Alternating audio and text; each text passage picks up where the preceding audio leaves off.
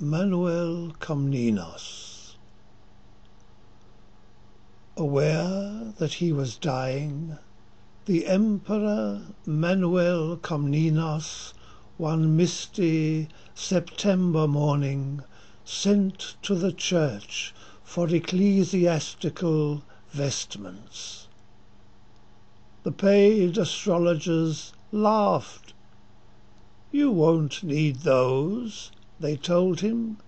"You will live for many, many years," waving their charts in his face.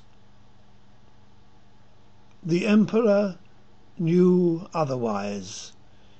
He would follow ancient tradition, assume the venerable priestly garb appropriate to his fatal situation.